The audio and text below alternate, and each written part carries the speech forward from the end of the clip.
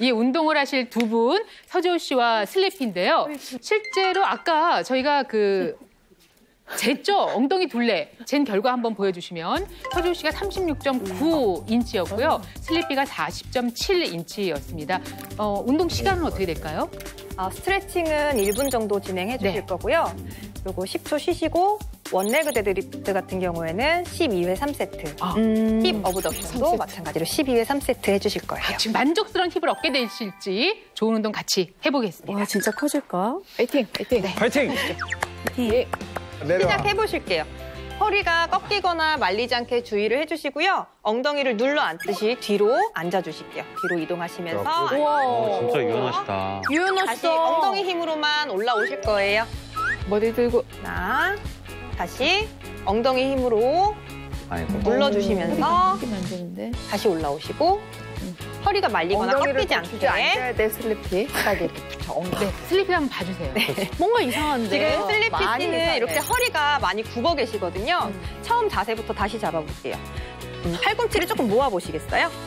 네. 그리고 허리를 곧게 펴주신 상태에서 너무 말리시면 너무 이렇게 꺾이시면 안 되고요.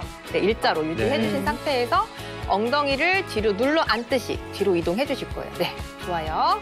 다시 엉덩이 힘으로 올라오셨다가 다시 한번 내려가시게요. 시원한가요? 시원할 거예요. 다시 올라오시고. 저 가랭이가 너무 아파요. 네, 그거 스트레칭 되는 거 맞습니다. 아. 좋아. 잘하는 편이다 그래도 응, 천천히, 천천히. 너무 무리하지 않는 선에서 그게- 조금씩 늘려가시면 돼요. 더 더더 지호 씨가 너무 잘한다. 음, 집도 고집 있어요. 벌써요? 좋아. 잘하는 편이다 그래도 응, 천천히, 천천히. 핫! 자, 1분 됐습니다. 저렇게 고마워요, 빨리 하는 이제. 것보다는 좀 천천히. 음. 아, 종이 인형. 그리고 밴드를 착용을 하셔야 되는데요. 무릎 바로 위쪽에 위치해 주시면 되고요. 넘어질 것 같아.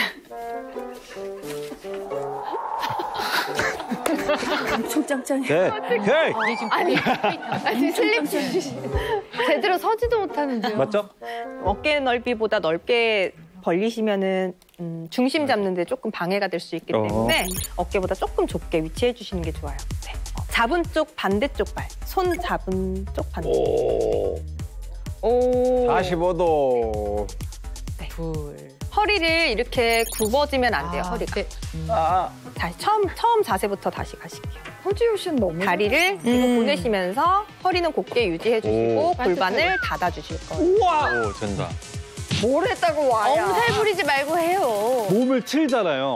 몸을 틀면 그쪽 근육에 힘이 엄청 들어가요. 그죠? 아, 다 들어가요, 다. 여긴 지탱하려고 들어가고 여기는 끌어올리려는